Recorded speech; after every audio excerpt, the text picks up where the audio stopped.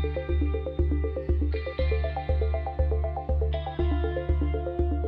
my name is Mary Marcos. I'm here with Ward 5 City Councilor Joel Saslaw.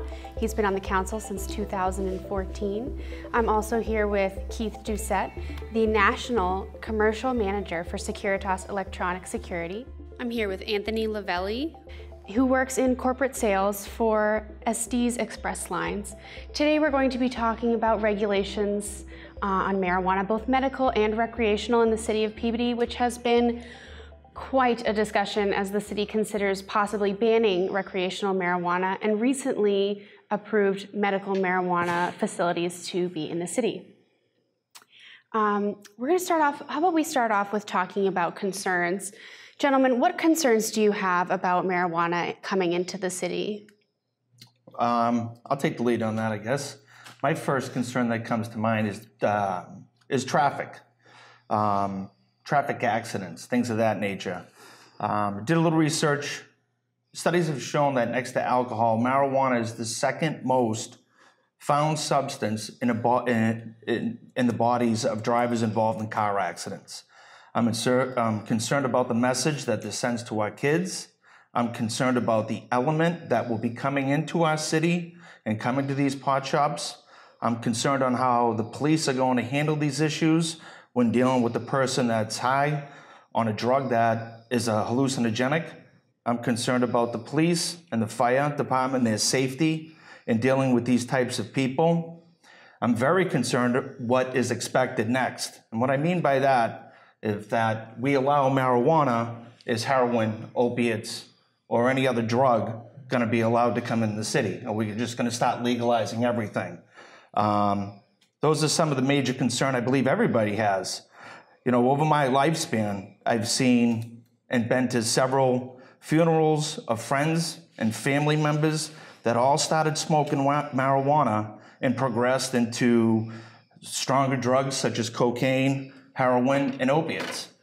And uh, those are pretty big concerns that I have. It's a gateway drug. This is where it starts. And I honestly believe bringing it into the city, there's really no need for it. So let me uh, follow up with some of Anthony's uh, stuff here, which is, you know, the, the, the traffic in the city, uh, the traffic's not going to change. I mean, it, it, may actually get a little bit worse because what you're going to have is the, people are going to be driving through to go to Salem or go to Lynn where, where they can buy it. And they're also going to be leaving Peabody and then coming back. Uh, so the traffic issue, it's going to be there either way. Doesn't matter whether we ban it or not. I meant But- traffic accidents, I'm sorry. Okay. So with traffic accidents, and Anthony's absolutely right, the, the, the numbers show that uh, in places where recreational is legal, the accident rate on, that people are found with marijuana in their system is high. But you have to take into account that marijuana stays in the body for 30 days. So somebody that gets into an accident seven days after using marijuana for whatever purpose, whether it be medical or recreational, uh, they are not still high, but they are still going to test positive. So when they get into that accident, and they, if they have to go to the hospital for blood work, or they do get arrested for whatever reason, um, and they they take the they do the test, that test is not conclusive that they smoked marijuana that particular day. So you can have a very long stretch of time. So those numbers are just a tad bit skewed. As far as to the point of a gateway, and I'll leave, I'll leave my uh, comments uh, at this point. A gateway, marijuana, in my opinion, is not a gateway drug. I have also had experiences with um, drug abuse in, in my family and friends and everything else. Um, the drug dealer the, the person dealing the marijuana is the gateway. It's not the drug itself. So they sell your, your they, they sell the, the, the marijuana and then they sell you the, the next step. Um, so again, it's not the marijuana. I know plenty of people that have never went past it. And I know plenty of people that have jumped over it and done way more than um, you know, uh, marijuana and cocaine and, and heroin and everything else. So they, they, it, it's, in my opinion alone, it's, I don't believe it's a gateway. Um, so as far as the traffic goes, um, my thoughts on that is that if we ban marijuana, recreational marijuana from Peabody, that doesn't do anything to ban traffic from people who use it. Um, if we have people, we have people every day who drive through the city who are high on marijuana and alcohol and whatever drugs are. So by banning it in the city, it's not going to change the traffic of people driving through the city who are on marijuana. So t- to me, um, it, it's it's legal in the state. Uh, people are using it, and they are driving through the city on, on an everyday basis.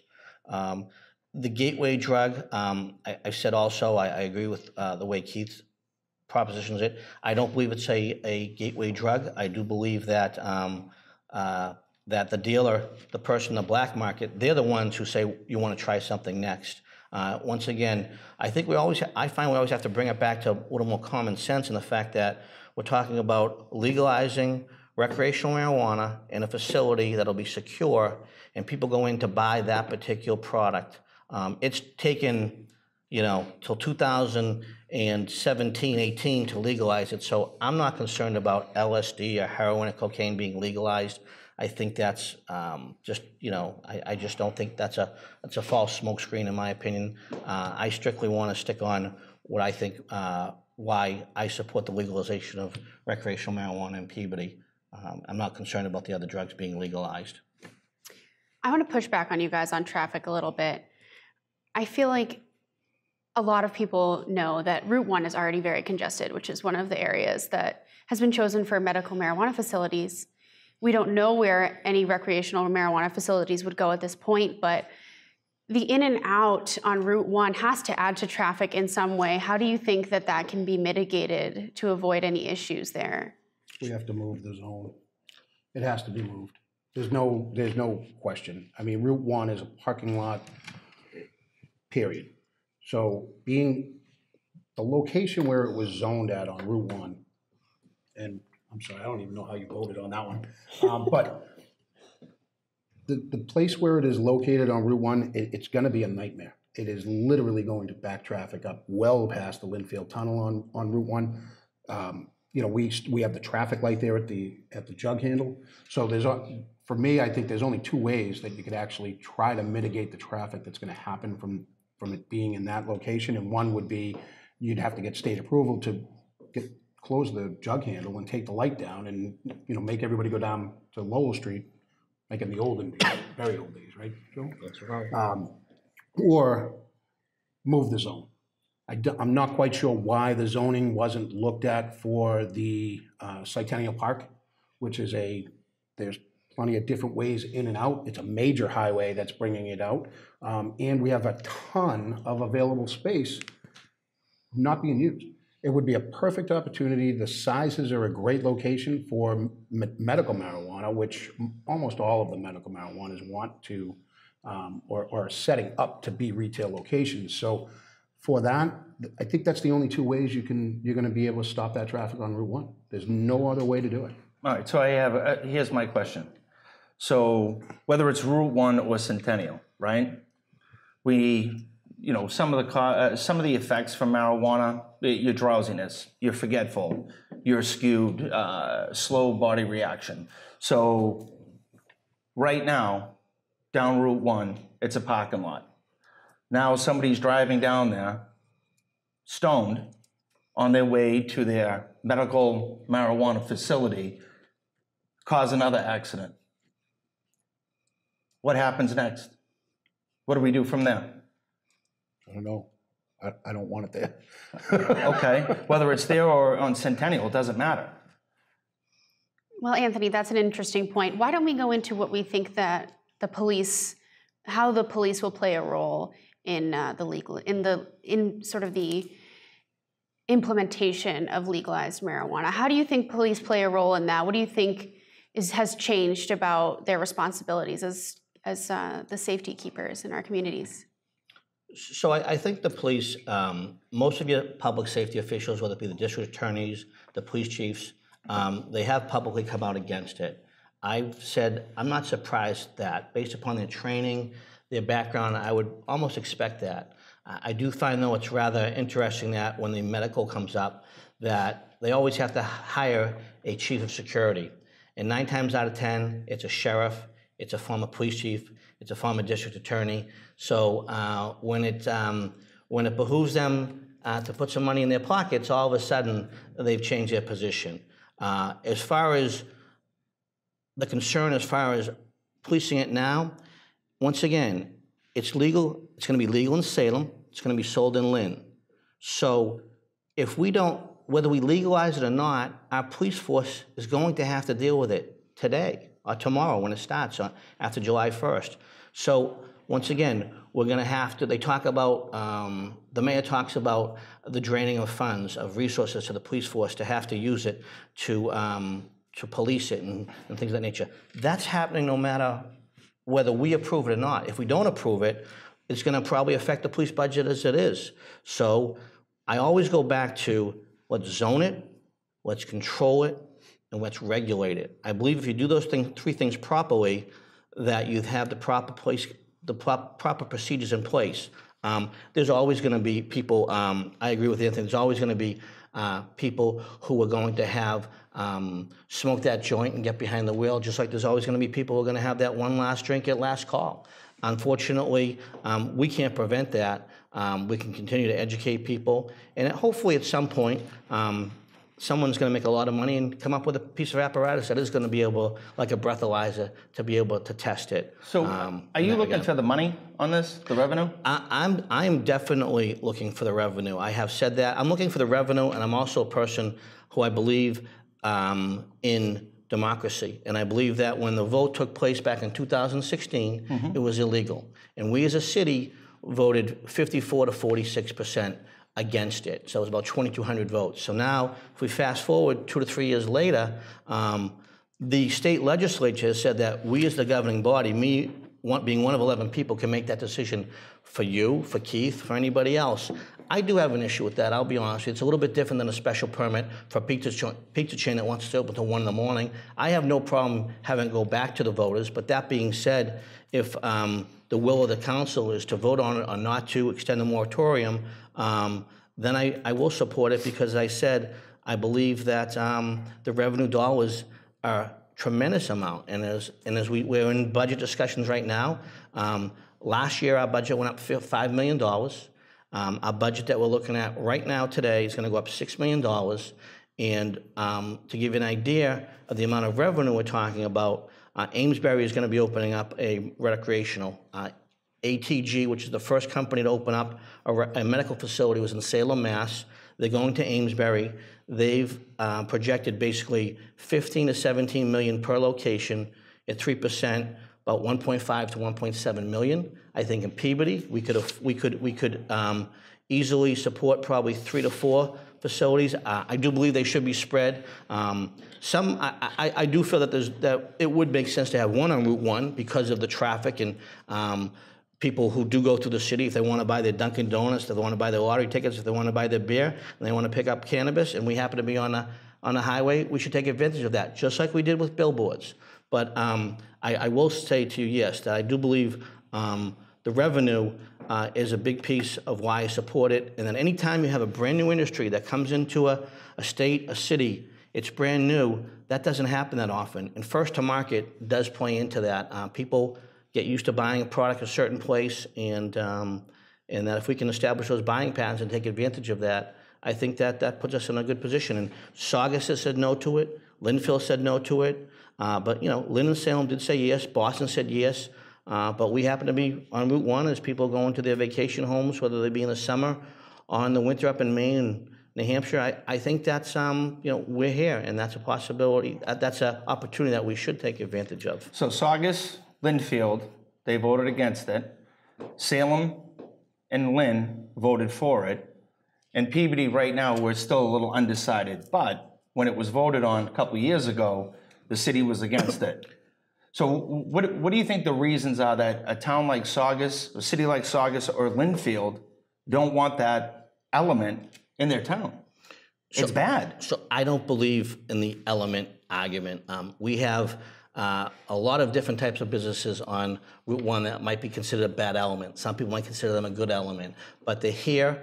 Um, they're not going away, and to just do this, i- i- you know, I think that uh, we as a community, um, it's not going to define that Peabody is a bad place. You know, I mean, we have uh, we have strip joints on Route One. It's not a bad place. You know, the average house has, so- has is selling in 17 days right now in Peabody. And how much are those houses worth? The average price? Say four hundred and fifty thousand?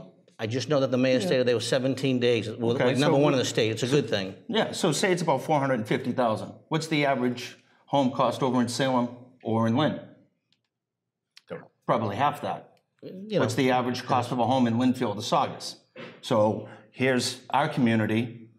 Now, I honestly believe by bringing in marijuana, it's, here it is now, it's gonna decrease. And so I'm glad you went into that because it's been provenly, it's been written extensively that home values are not affected any bit in Colorado. And by the way, in Brookline, which is a, a very nice economic community, it's been proven that home values are not affected negatively. And I'll be honest with you, if I saw research to say the other, I would, I would look at that uh, very seriously because I respect it's, it's the most, it's the biggest investment that a family can make. And I did take hate a look at that today, and the homeless and the drug usage in Colorado since 2012 has increased over 10%. I did look at that today. So maybe the home value, we'll keep that for another day, but the drug usage um, and homelessness have both, both increased over 10%. Well, since revenues came up, why don't we talk about what the benefits are to having? Can I just jump in real quick with, just jumping in with one thing as far as one city not having something, you know, not having it, abandoning it. There are plenty of cities within the North Shore right now that are dry towns. They don't allow alcohol. We, on the other hand, are in the process of banning or asking to ban uh, recreational marijuana. And during that process, we were awarded 20 extra liquor licenses that we asked for from the state. So, I don't, again, I'm, I'm, I'm not saying that, um, you know, that, that because Rockport's dry, they're better than us, or because, you know, Saugus has decided that they don't want to do it, or Lynnfield doesn't want to. do All I'm saying is, ma- marijuana use and alcohol use go, it, it's hand in hand, it's the same exact thing. Alcohol actually, I think, is, is t- 10 times worse. We have an outlandish number of liquor licenses in this city.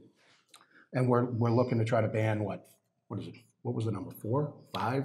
Actually, I think it'd be up to twenty percent of the amount of liquor stores you could have in uh, recreational. But just going to your point about the twenty liquor licenses, when, and I did support that, but when it's proposed, the reason why it's proposed is because it's an economic driver. Because there's the talk about restaurants won't open up if they can't get a liquor license. So I do find it uh, rather curious that my fellow uh, councilors will support that open, you know, wholeheartedly, and then when it comes to uh, marijuana, it's like, you know, that's a that's a boom industry too. And there's other, uh, there's going to be tourism that's going to start in certain uh, places across the country that have uh, marijuana. They're, they're already looking at that, travel and tourism offices across the country. So it can be used um, as a uh, as an as a economic uh, boom also. But So the three of us go out to eat with our wives. On average, we're gonna have probably two or three drinks, right? Sure. Call it a night. We're going to the restaurant because of the fine food, dining, and atmosphere. Okay. So I'm six foot tall, 200 pounds. Say we're there for an hour, right? Mm-hmm. I had three Jack and Gingers. Okay. If you do the BAC on that, I should come out to about 0.06%. Okay? So technically, I'm not drunk, right? I'm legal, I can drive home, correct? Mm-hmm. You smoke a joint. What's how long is the effects on that? Two to four hours. In most cases, it's two to three. So we just had dinner. Hey, hold on for a second. Before the appetizer gets here, you run out, you smoke a joint, you come back in. 45 minutes later, you decide to leave, you're impaired. Now, you're leaving Peabody Square on your way back to Quail Road at 9:30 at night. Driving down Lynnfield Street. I don't, I don't even want to go with all the kids running around and just, you know, the way the road is, um, the other restaurants, people pulling in and out of the Wadhurst, et cetera, um, and going down the street, that, that, that poses a problem. Well, that gets into running a risk. regulations. So, what do you think? How do you think the regulations should differ, based on liquor versus marijuana? What are your thoughts on that? Well, well, right now, you know, a lot That's of. a, go ahead. As far as the regulations go, that, that's an issue that um, I was just reading in the, in the Boston Globe today. The fact is, the question was, when will you be, will, will there ever be marijuana uh, cafes in, in Massachusetts? And I think that's well into the distance on that. Um, right now, you cannot, we, we passed an ordinance in Peabody, just like public drinking. If you smoke it in public, uh, you will be fined and you will be ci- cited for that. So we did put regulations as a council on that. That's not going to go away. Um, you know, unfortunately, if people choose to, uh, you know, go to a uh, function and have a, uh, a beer uh, light up, um, you know, there's always going to be people who are going to do that. But all we can do is try and put legislation out there to try and, you know, stop that from happening. But I don't think it's something where uh, you're going to be walking down Main Street in Peabody. I think there was a, last year, there was a city council who made a comment about, you know, you walk down Main Street in Peabody and you're just going to be billowing smoke. And I think that, once again, it's a lot of, uh, that's just not going to happen. It's not the situation. It's not realistic. You know, I, I'll give Anthony credit. You, your, your scenario that you just played out, um, I don't have a good answer for you today. Um, I would like to think that, once again, people are responsible, just like there might be that person who has that fourth drink or that after dinner drink, and unfortunately, they're driving down um, the street. I also do know, uh, you know, I don't know a lot about cannabis, but I do know that um, whether it be uh, smoking of cannabis or the edibles, they'll have certain types of um, strengths. Yeah. Um, in certain types of uh, releasing of the, of the uh, CBDs or that. whatever. So, um, but you know, I think your, your point is, is valid, and and I'm not looking, uh, you know, as I said, uh, that's a concern. I mean, I, you know, I'm a, I'm a father of two, just like you are. So I, I don't want to see people, um, you know, uh, driving recklessly. Um, you know, it's for over 21. Um, you know, there's a reason why. Um, you know, there's certain things that adults can do, and certain things that, um, you know, kids can't do. And, and I have that discussion openly uh, in my family, and we do talk about it. But I, I totally respect your, your, your point. Um, I just think that, um, once again, um, the education will continue. I just don't think that legalizing marijuana in Peabody is going to, you know, set this city on its head. I- You know, you know, I I don't think that's going to happen. So, real quick to the, you know, the regulation part and, and everything. One, the regulations are already in place. Legitimately, all you have to do is change alcohol to marijuana, and your regulations are, are pretty well set. You know, we don't go to every single park and see a bunch of people hanging around, you know, drinking it up. And I'm not talking about the homeless, and I'm not talking about the current uh, epidemic and, and for heroin and everything else. But you don't, you don't walk down Main Street on Saturday, unless there's a pop-up pub, um, and, and see a bunch of people drinking outside. It's, it's not allowed. It's, it, it's against the law. The same thing goes, as far as the regulation goes, if there's a place that's selling it, and then their people are walking out front and lighting up, the regulation not only is gonna go, has to go to the person that's lighting up out front, they have to go into the store, they have to let the people know, you can't let your customers do that, so on and so forth, whether there's a first-time warning and then fines from there, whatever it has to be, but no, we- we don't see a bunch of people sitting in front of liquor stores down in a, a 40 out front. You don't, you don't see it. Um, You know, eh, so I think eh, eh, regulation-wise, I think it's in place. We have some of the best law enforcement people in, in, in the state, I believe, in this city. Um, And our police department is going to, if it, if this passes, they're gonna have to deal with it like Joel said. Doesn't matter whether it's here or not, they're going to have to deal with it. People are still gonna drive to Salem, they're gonna get their stuff, they're gonna come here, and they're going to smoke it. Um, So we're going to have to deal with it anyway. We're not gonna have the funds to deal with it, though, if, if we're not selling it, if we're not making the, the, the money from places here in Peabody. So it'll allow the police department to hire more officers, And at that point, our police department will figure out the regulations and the, the, the things that they need to do in order to protect us as a community. It's the way it's gonna be. It will be a roundtable with, with, you know, everybody involved from the, the public safety, uh, uh, people here in, in Peabody, and we'll get it done. Did you want to respond, or are you all set on that? Um, I'm good. Okay. How about we get into the benefits? What do you guys think the benefits are to having recreational shops in the city? So one of the things I think that um, needs to be brought up is the fact that when it comes to medical marijuana and recreational marijuana, it's a very uh, gray line, if any line, is the difference is. And what I mean by that is that starting in July 1st, when you can go to Salem and you go a medical shop or recreational, and the state has basically said that they're going to approve the license holders of medical to be able to sell recreational first because they felt they've basically done a good job. You'll walk in and the product is the same. Um, the only difference is, is the medical, if you have a medical card, you're going to pay, be paying less taxes. And also, if you're a veteran, there'd be certain, uh, for lack of a better word, discounts that would be available uh, to veterans. So there is no difference between medical and recreational, and that's what I think. Um, it's it's interesting because the elderly population they're coming around on the uh, medical. They just not they don't quite understand that recreational at the end of the day is going to be the, the same exact thing. So. Um, if we're gonna if we're gonna allow one, and it's basically proven that there's a lot of people who don't want to necessarily pay that two hundred fifty dollar medical card. They don't want to be a database that the government has. Um, just you know, people want to go in like when they buy alcohol. Here's my license. I'm 21. Thank you very much, and go. They don't want to be tracked. They don't want to be. Um, you know, some people, believe it or not, have uh, a distrust for the government, uh, so they don't want to be in that database. And and in my opinion, I, I understand that and I get that. Some people will still continue with the medical. Um, the other thing I think that um, needs to be talked about too is as far as the black market. I think that when you do allow and you control something and the government's involved, at least you know the product you're getting is it is what it's supposed to be, um, and that you're going to get the proper product.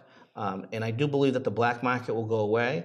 And I've had conversations um, with even um, a, a, a young man, a young gentleman uh, in the city who just graduated, and he believes that um, you know that'll that'll help just to tighten up things and people, you know, the kids. The access to it is not going to be easy. When these people spend one or two million dollars to open a facility, they're not going to allow anyone to come in and buy marijuana. You're going to have to show your ID. And I also believe that if required, they would also hire legal, um, they would hire police detail so that people do not smoke outside the facility. Because once again, that, that, that's not what, they don't want it to be part of anything illegal. Um, but as far as the revenues available, you know, I think it goes without saying. So I was 17, 18 once, right? And we used to call, we used to go get a buyer on a Friday or a Saturday night. We're still, we're not preventing anything. So a 20 year old, one, a 21 year old kid named John Doe, he knows Billy, Bobby, and Timmy, and they say, hey, can you go over to the store and pick us up some weed? They're 16, 17 years old. Do you not think that's going to happen? Of course, it's going to happen, but also, do you not think that they don't? They're not even going to need the buyer to go to their friend's cousin's friend to go get the stuff that he has. That you don't need. You don't need a buyer when it's You have to be legal. When it's illegal. No, no, no. What you're saying is, if it's banned from here, Yeah? right? If if, if it's just a flat out ban, then you're still you're still playing in a little bit of a black market, correct? If you ban it, you're still playing in a little bit of a black market. So the kids are going to get it anyway. They're going to get it we- anyway. whether That's we what- that's approve it or not. That's what my point to the whole thing was. I think they'll is that you, you said that it was 21 and over Mm-hmm. illegal to go in, but again, what I'm saying is that the youth, they're still going to get their hands on this. Of course. And I'd rather make it harder for them than have it right here in this city. Uh, well, I understand the benefits that you're saying. no, I understand the benefits. I do think it is harder, though. I think it is harder. I think it's uh, harder when you legalize it and you have uh, control it, and you can't go in without a medical card. I think you know. It's. I think uh, it's pretty easy. But I would. I would venture to say it's not as difficult to get marijuana today. I think it will be. I think it will be more difficult when you legalize it and you control it and you restrict it. Um, so I do think that, and And I think the opposite. I think it's just it's just going to be even easier because they're already getting their hands on it now. However they do it, they get it. Well, I, I think, And now by legalizing it, we're gonna be able to give them more of it. yeah, So I'd rather see less than more. I, I, yeah, we can agree to disagree on that. That's fine, That- that's that- cool. that- That's, that's. Yeah, I mean, I, you know, we, I, we remember when, you know, way back when, when you, when you, you were, you know, uh, uh, junior or senior in high school and you, you're gonna have a, a- a bash on the weekend, you got it. Yeah. Didn't matter, it didn't matter how you Didn't got it, matter didn't how- matter right. where, you got it, period. And the kids are gonna do the same thing, you know, I mean, it's, that is exactly, you know, what is gonna happen. The kids are still going to get it, but I, I do feel as well, if, if we bring it in, we regulate it, there's some stiff, the, the, the misnomers out there are that, that these, that this thing is gonna be sold at, you know, uh, Bunghole Liquor, or at, 7-Eleven. or the CVS, or, or the convenience store right next to them. These, these places are not going, they're not gonna sell it. They can't. They're not gonna meet the actual state regulations that are set right now for medical marijuana, which are now being converted over to recreational marijuana your regular mom and pop convenience store, even your 7-Elevens for that matter, they are not going to spend a quarter of a million dollars, and I'm talking only on a security system, to oversee and, and meet state regulation on what, what they're gonna have to put into their stores. Not going to happen, it can't happen. It- These guys are spending millions of dollars to open these medical places with the retail attached to it just in case it was it was made legal. Now that it's, now that it's made legal, they're moving forward with that, and the prices on just, again, I can only speak to the security piece, because that's, that's my business. The proposals that I have put out over the past two and a half years to medical marijuana facilities, on average, two hundred and twenty-five thousand just to meet state regulation, and the state can come in at any point in time and tell you you need to put more. So it's not gonna be little mom and pop places, and it's not gonna be every street corner in Peabody, and it's not just gonna be the, the guy growing it in his backyard and selling it in his- the front of his store. It- It's not gonna happen that way. And I'll just close with this, Anthony. I think that as a society, we, we evolve, and I'll give you an example when it comes to liquor.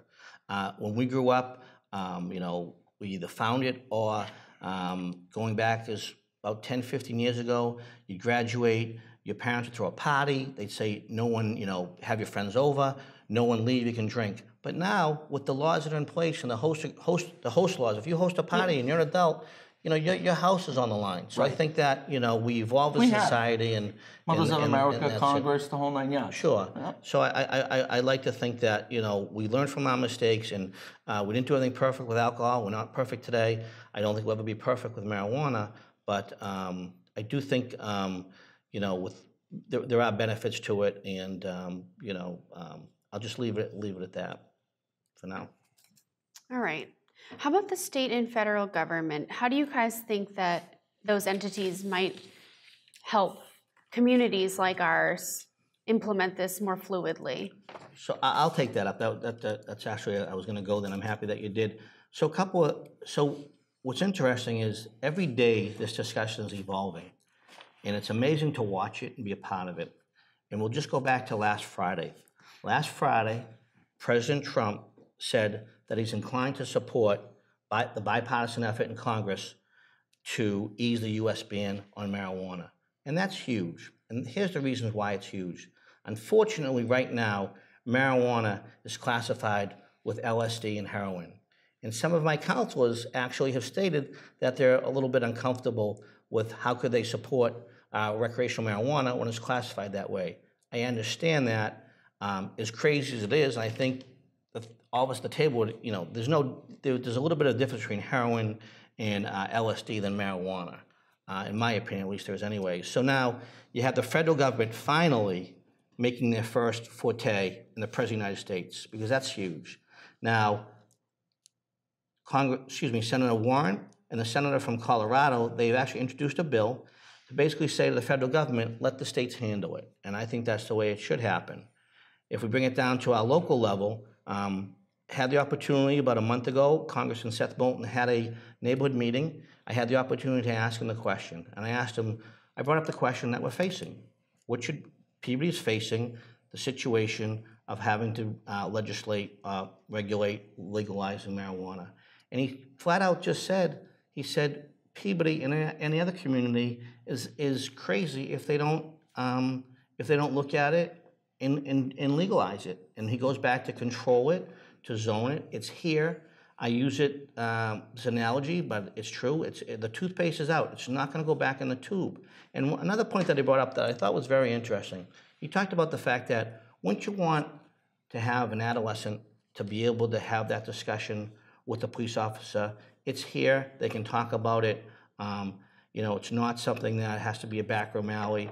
Um, so I think that the federal government, I think the state government, um, and uh, in our largest city, Boston, even Mayor uh, Walsh was against it. But it gets to a point where you just have to say, you know, it's here.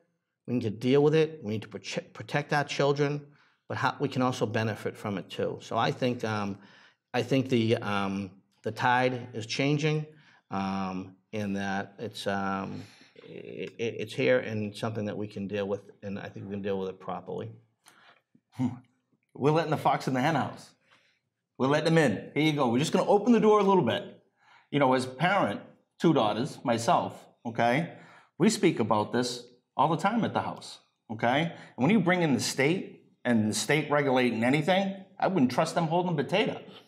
Not one of them. And I mean that. You, you know, you, to see you chuckling.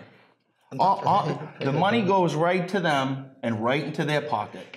It does. There's no trickle down effect here for Peabody, and I'm sorry for I don't know being so blunt or however it came out, but it, the, again, you're letting the hen, uh, excuse me, the fox into the hen house, and I don't need a police officer or a nurse or a teacher teaching my kids about drugs, alcohol, whatever else.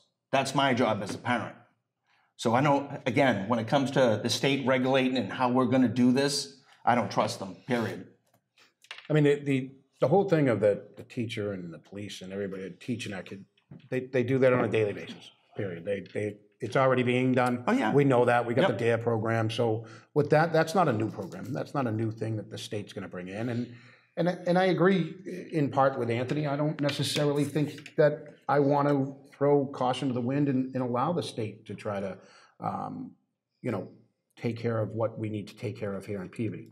I think the, the state should kind of do what the federal government is doing and hands off, right? Give it to the, give it to the cities and towns and let them decide. Um, You know, but with that being said, with the Fed, as soon as the feds, and I don't know, maybe you can correct me if I'm wrong, I don't know the full information.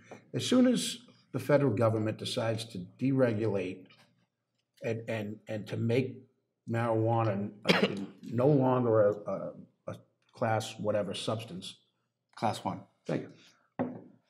What does that do literally for the band? I mean, literally now you have nothing to go on. It's legal federally. It's so there, it's one hundred, it's exactly as alcohol is at this point in time. I- How do we stop somebody from, from, from, from starting, a- opening a store? How do we stop it? So, so here's where we're in agreement. The federal government, the reason why they're gonna probably uh, declassify it from a, a, a one is because at the end of the day, Anthony, you're right. They're gonna see the money and they're gonna wanna get involved. I agree with you 100% on that. The federal government will see the millions and billions of dollars in this industry and they're gonna want their piece of the pie. Absolutely. Just like they did with the lottery. Absolutely right. But See, that's where you don't, guys- but, but don't, but don't, but, but, but, but, but you, you did say one thing, and I, and I think, um, it- you're incorrect. I think it is written in, six percent of the revenues of recreational marijuana go to the city, not the state, not the federal. So there, that, that's millions of dollars. Is, a, is the state gonna take some of it? Yeah, but there are millions of dollars on the table available for us. So, okay, so I'm not sure of that number either, or that percentage, okay? So if it's six percent, why can't we negotiate and get twenty, maybe twenty-five? Or some realistically, like fifteen? And use that money for infrastructure here, drainage, teachers, uh, more Sidewalks, awareness. roads. Side, oh, oh, why, okay, so if it is, if it's approved, mm-hmm. and we go forward to it, mm-hmm. the three percent or the five percent, six percent, whatever that number is, mm-hmm. say you double it, try to triple it, okay, and come up with something. Eh, I'm not going to like it, but guess what? I'm I'm not moving. So, so the six, the six percent, I believe, is, is written in the statute, so that all cities and towns would be on a level playing field. That was written by the state legislature, so that's where the six percent comes into play. Um, and so when I look at it, and um, you know, so that I've been in office going my fifth year. For the first time ever, this past January, I had two residents call me in Centerfield. Centerfield's a, a neighborhood in Peabody. It's uh, it's it's an older neighborhood. Uh, it's down by Sue Chang's, right right uh, right before Sue Chang's, up on the left hand side. And I had two residents call me up, and they said, "Councilor, you're gonna price me out of my home. I want to stay here." And they say to me, "Councilor, I understand that my house has been appraised and it's going up more and more, but I don't want to move. So it doesn't matter if my house is going up and the value is going up. I don't want to move. But if my if the tax bill went up four hundred dollars this year, last year, and this year, the average household tax bill is supposed to be one hundred and ninety-five dollars. And I'll go back to what you said. That average house is about three hundred ninety-three thousand. I represent Wood Five. There's Wood Six. My average constituent's bill is probably going to go up four, five, six hundred dollars. There comes to a point where people on fixed incomes that can only go up so much. So I do want to take those dollars. I do want to take them and I want to put them back into our budget to take care of the roads, the contract negotiations, the water cooled treatment facility that we're going to have to put in 15, 20, 25 million dollars. So I, I think we have some common ground there.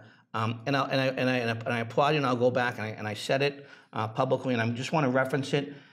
Aside from this program tonight, if you go back and you uh, go to PATV, the legal subcommittee was on May 10th, and that's where this discussion also took place. And at that discussion, I said, Anthony, I said, you know what?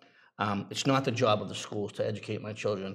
As you said, I talk to my children about that. We have open conversations about that. If you don't think they've heard my conversations with colleagues in the last six months, you know, but so so then I have other people say, you know, we don't want it and and, and, and, and keep it away from the children. Do you don't think the children know that it's legal in Salem? It's legal in Lynn. So I want to educate my son. I want to teach my sons there's a time and a place for everything. And that, you know what, there's a reason why. And that, um, you know, I talked about, you know, I talk about, talk about vaping with them. You know, we have to talk about these subjects openly. And, and unfortunately, um, some, some households don't have those discussions, so they have to have those programs in the school. um, but I think, like I said, we, we have a lot in common.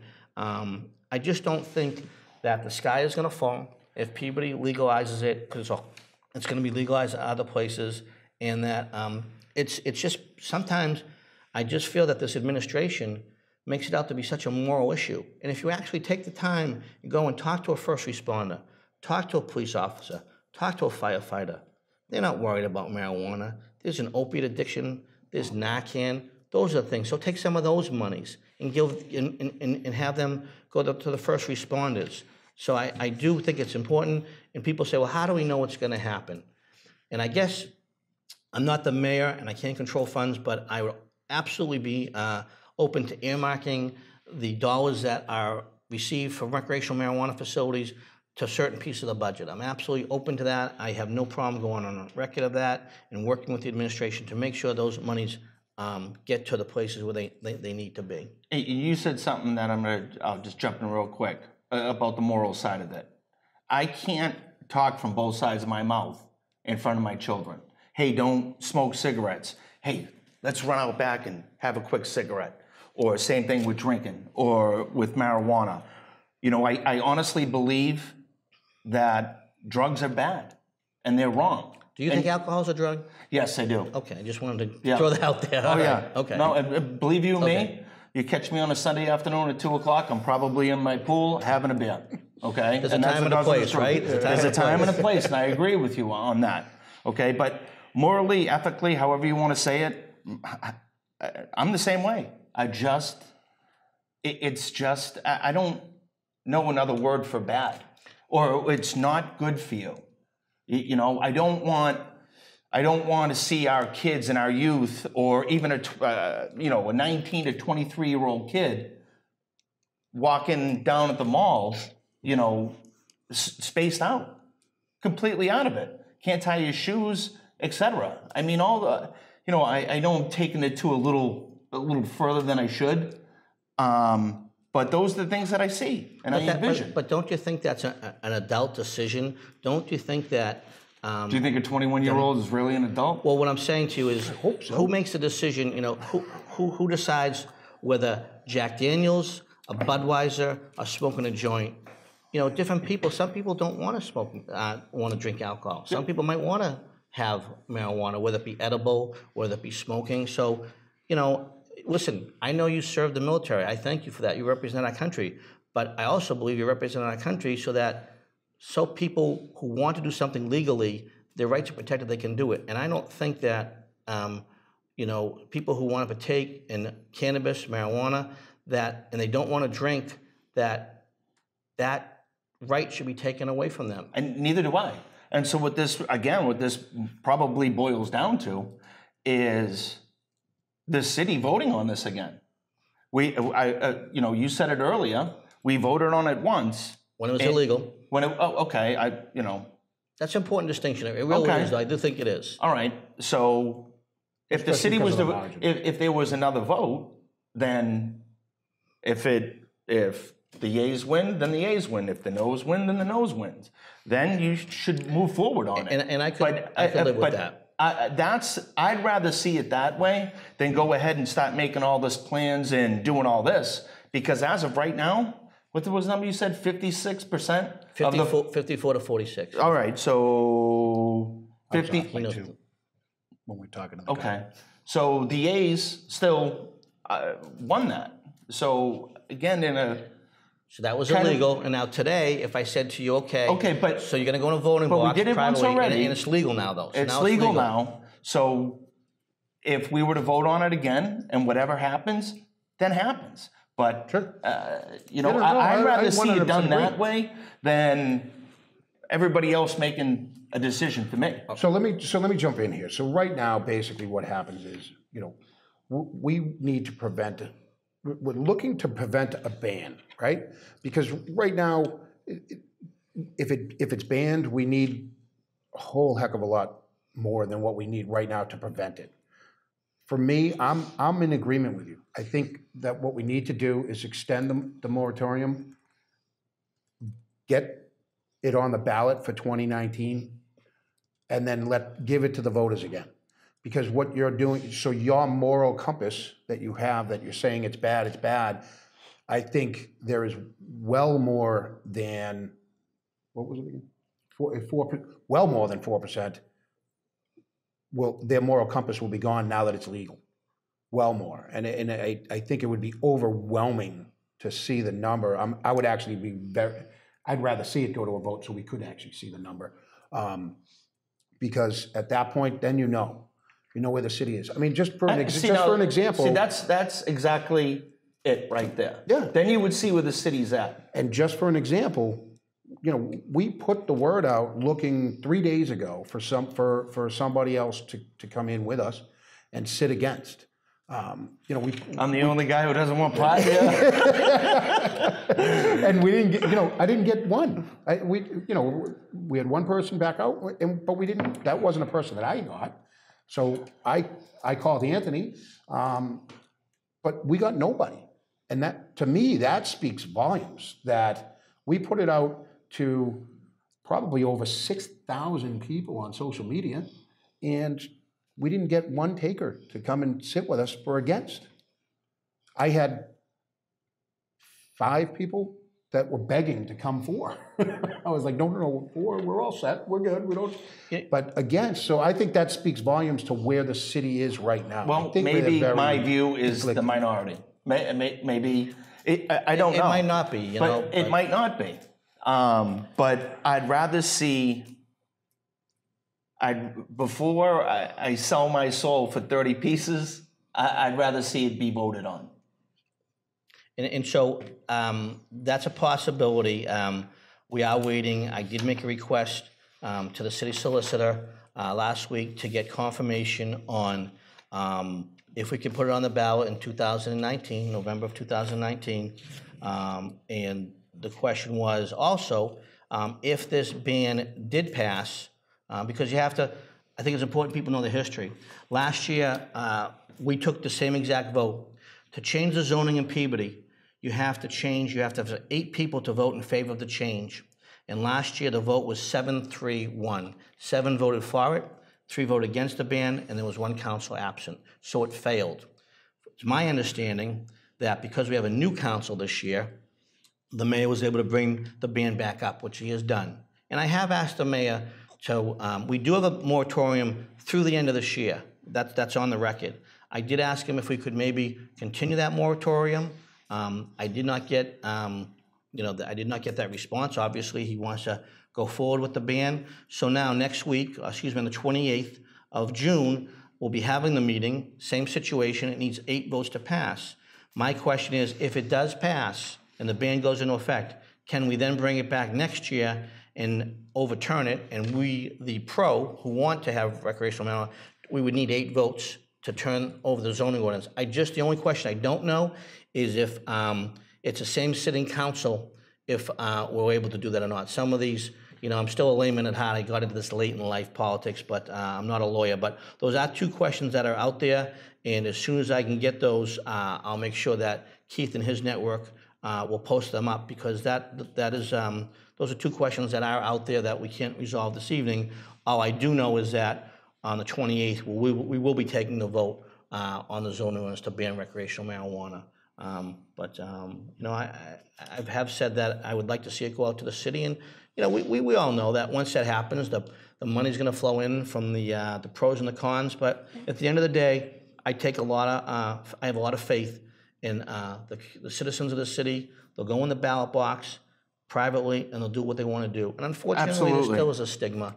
Um, we know that. We, we wouldn't be honest with each other if we didn't say that. Some people do it. They don't want people to know. But um, you know, as I said, there is there is some people, believe it or not, in the city government who, who do believe um, that we should look at it. And as I said, i i- you know, some people say it's not about it's not always about the money, but I think sometimes you have to be honest about that and say it is about the money. Um, and I'm just looking to take those those dollars um, and put them into our city to keep the tax base down. It would be nice one year to maybe have no increase at all. And uh, we know, listen, we all know um, we're gonna we need some uh, the high school. Uh, you know, it's an older building. There, the, the center school, which I represent, the Welch School. Um, those buildings need to be looked at, and some need to be actually rebuilt. And those things um, are not going away. So if we, and I, and I believe this, if we weren't in Route One in Peabody. I'm not saying that. Um, I think that they said that's more more licenses given out to Worcester County uh, for recreational because I believe those cities and towns have, pr- have approved it. And quite frankly, if you look at places like Fitchburg and uh, th- that area, they are more economically depressed in this area. So some of those city councils and mayors have actually been open to it. Um, Because they need the cash. that's right. They need Yeah. it, they need it more desperately than And we, we do don't. possibly. Right. Well, we we do. We, we, we could use some money. We Right, could use some right, money, and uh, you know, I wouldn't mind a, a little tax hit. Right. All right. I, I I'd like my taxes as low as they can possibly be, like everybody else. Sure. But uh, you know, here's my here's my big question. I, you know, to both of you guys, what do you do if you're driving by there and you see your your son or your daughter standing out front or getting ready to walk in? What do you do? I'd have to plead the fifth. Uh, you'd have to plead the fifth.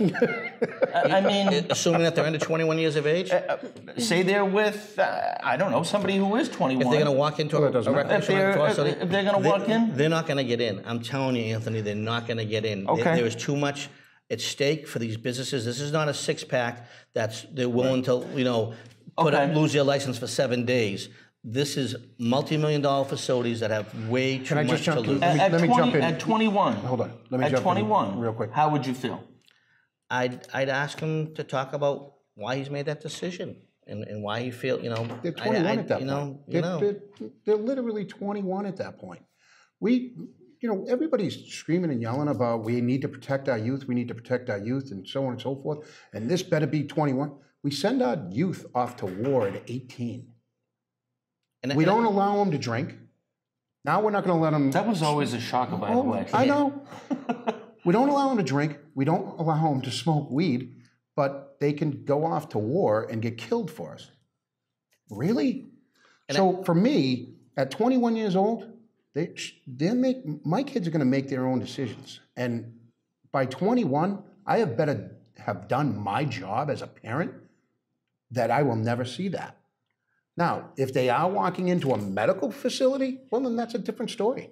I have I've looked into different things for my, you know, to to to see if there's anything out there that may help, you know, anybody in my family if there's medical marijuana for that. But what you have to understand, and as Joel said, under 21, they're not they are not getting in. They're walking into a door and the first person they're meeting is a security officer that's sitting at the door with a computer. They're going to pull that computer up. If they have a medical marijuana card great they're going to be let in but that means they're 21 if they don't have a medical marijuana card they're not getting past there period. And there's two more locks going into that location where that they can actually pick up the marijuana and, and, and then bring it out. There's two locks to get out as well. And the problem is you can't get into the exit because those things are locked down. And I know that because I've, I've set them up. It- So having them, they're not going to get in. But again, as parents for, uh, of a 21-year-old, I have better already done my job that they're not standing out there and getting ready to, to, to whether smoke it standing out in front of the store or whatever. At 21, they're able to make their own decisions. If they can go off to war, they can certainly make the decision whether they want to buy some marijuana, go home and smoke it. And I think, I think that the thing that we can all agree upon too is that, uh, you know, there's a, there's a word you teach your children about growing up, and it's called moderation. And no matter what it might be, you, you you have to do it in moderation. And when something takes control or overtakes your life, then you have to look in the mirror and then you have to deal with those consequences. And that can be on, on, on many different levels, on, on, on many different things. Um, so I think that's, that's, that's key. I agree.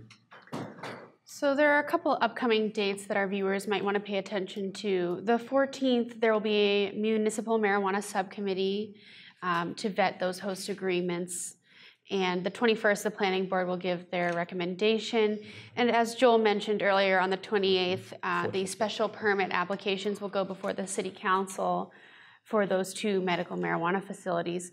Joel and and Keith and Anthony, if you have an input on this, what, what do you guys hope will come out of those host agreements? If actually, m- obviously, medical's already happening. So, what do you hope will come out of the host agreements? What do you hope the community will get out of these facilities being in the in Peabody? I already mentioned it earlier. Instead of the six percent, or what, uh, I'm sorry, Joe, what was The that? Wasn't host, that the host agreements uh, uh, for medical is three percent. All right, so three, we'll just use three percent. I, I wanna see more. If we can get more, get as much as you can. And then take that money before it goes to the state, we, and refilter it for the city of Peabody. For, again, you know, we have drainage issues, um, police, fire, I mean, all the things that Joel said, uh, the infrastructure, roads. Take the money and use it for that. You know, uh, schools, Peabody High, it's, that's a huge one. You know, uh, how about some new uniforms for the kids? You know what I mean? Um, so, I, not the three percent, I'd really like to see more money. However, they could pull it off, I, I would go with, you know, I mean, I'll go with Anthony on that one. It's, uh, Peabody is a prime location for these medical marijuana places and, and for recreational to, to be added onto the medicals. Um, w- Right now, I don't think you've picked the correct location for them, but, you know, who am I? I, I don't, I have no idea, but looking at the places, looking at the zone, there's only one way in and one way out, and that's Route One. There's no way you're gonna be cutting into anything. If your, if your traffic counts are wrong, you're done. There's, there's no fixing that at that point, you know, talk about letting the fox into the hen house. So for me, we are at a prime location with Centennial Park, having the availability that we have there right now, and it being in a location where you have 128, 95, and 93, 114 that all intersect Golden right triangle. there. It, it, exact, it's, it's perfect. So they call it the Golden Right. Triangle when Turbo Jim built it. Ex- And it's, So it's perfect, on and off, no problem, this, that, the other thing, you got cars coming from wherever they're coming from, they're not tying up Route One, you're not tying up any side streets, you're not getting your neighbors angry, because as much as they're gonna tell you, don't cut through the, those Lynnfield roads where those, you know, the mm. Lynnfield people made such a fuss, you know, at some point in time, they're, they're gonna cut through those roads. So for me, I'm with Anthony. I think we're at a prime, we're at a prime location there. If we could rezone this, have everything, you know, have the zoning up at Centennial. There's Why also do you really keep no on going school. Centennial? You know I live Because- down, down over that way. Exactly, right there. Right- You just want to aggravate me, don't you? We also want to aggravate Council Turco too. Right, Woodward exactly. Council Turco. This is because John didn't come. You can text John when we get back in the car. So for me, I, I look at it as, you know, we can kind of, we, I think we can ask for a little more. We can ask for a little more than Salem. Salem's so hard to get into. We can ask for a little more than, than Lynn, because Lynn's so hard to get into. I think we can actually leverage our location, and whether it's Centennial or near the North Shore Mall or whatever, you know, again, and, and, you know, I, I think we can get a little bit more money than the three percent that, you know, that everybody's talking about. But I also think we can, we can set it up in a way that it's not going to f- affect the daily life of the residents of Peabody, right? They're not gonna be sitting in traffic. They're not gonna be dealing with a bunch of, you know, a, a bunch of things going up on Route One. So that's, that's the way I feel. So, so, so the three percent is pretty much, I believe that's a, a basic, um, that's in the, Package. in in the, um, in the, um, in the, uh, the bill, the three percent. But what happens is, and, and what I'll be studying up on a lot more between now and Thursday, is other earmarks. And what I mean by that is, um, we had a new student health facility that was, uh, funded by a private entity, uh, when it went into the high school about three to four years ago. We'll be, we'll be asking for funding of that. Um, and without wanting to really play my cards, I do know that there are other things that um, the Department of Public Health and Peabody has asked for. Um, There are always things that um, we can look at, uh, whether it be education on drugs or other things that might be necessary. But I think you'll see, um, it's an interesting position because it's not often where you can uh, come out for a company and say, we would like this and this and this. And what's going to happen most likely is we'll ask the same of both companies uh, so that they can fund uh, what we feel uh, the administration feels is important. The councils will have their opportunity to uh, have that conversation on Thursday, and hopefully by the end of the, uh, the committee meeting on Thursday, we'll have an agreement in place um, that will be formalized in two weeks. But there definitely is more than 3% that's on the table. Um, And the other thing, um, to the mayor's credit, there are, there have been other uh, cities and towns that do go a little bit overboard. And all I mean by that is, um, you do want them to be able to be a business that stays in business, because if you can get, um, you know, $500,000 for one year, that's great, but wouldn't you rather get $100,000 for 25 years? So I think that the council recognizes that, I recognize that, and I think that uh, we'll, we'll, we'll do a good job with that. But um, the things you folks talked about, absolutely trying to get more than that three percent. And as I said, we'll earmark it for certain things that uh, the, the city feels is necessary. And a lot of them do have to do, uh, I think you'll both be happy to hear, with the youth and things of that nature, and public health. Great. And gentlemen, anything else important for our viewers to know that I didn't ask about this evening? Uh, No, I I mean, I, I think we covered everything. You know, I, I think the only concern I have um, with, if we end up banning recreational, you know, we keep, everybody keeps saying, medical's coming, don't worry about it, medical's coming. Um, My problem is that two of the locations that I've worked, worked on in the past, um, if they weren't able to work their building to have a recreational side of the business, um, to be able to be, be built out, they, they, were not gonna, they scrapped the deal. That was it. So my concern is if we end up banning recreation, I, my concern is we're going to end up losing medical as well. And because medical is not where these guys are going to be making their $2 million back. All right, it is clear that they are building these places and spending this type of money, and it's taking a year to two years for the doors to open. So they have a half a, to a, million and a half to two million laying on the table before they've even collected a dime back to try to pay that back. And again, I feel that recreational is a big part of their thinking, and they just assumed it would, you know, once it passes, everything's gonna go. My fear is that all the medical is gonna pull out of here and go elsewhere if we end up banning recreational. That's, that's my concern. That's, I'll leave it there. So I'll just close with this. I think you have to have trust and faith in your elected leaders in the city. I'm proud to serve with the men and the women that I do. Um, At this point, we're not all on the same page. I think some people are further along than other people, but I believe, once again, if we can control it, we can zone it, and we can regulate it like it should be, that um, it's not going to make Peabody an undesirable place. It's not going to make Peabody a bad place. In reality, we can take those revenues, um, we can put them into our schools, we can put them into our sewer and water system. We can make Peabody a better place than it was today. I don't think it's chicken little. I don't think the sky's going to fall if we um, uh, regulate it. Um, I think that, once again, if we just control it, zone it, and take those funds and put them in the proper place, uh, we're in a very unique position. Peabody has a lot to offer, as Keith said. Uh, we happen to be uh, at a tremendous opportunity as far as the highways and the byways of the city, and I think we should take advantage of that opportunity. I believe there's something to be said about being first to market, um, and every day the conversation is moving forward, and, and even in the last 30 days, we've seen how it's come even further. Um, and so I think Peabody, I believe in the citizens of Peabody, I believe in the, in, in my fellow um, uh, councils in Peabody, and uh, we have a great infrastructure in Peabody. And I think we can control it, as I said, and do the right thing.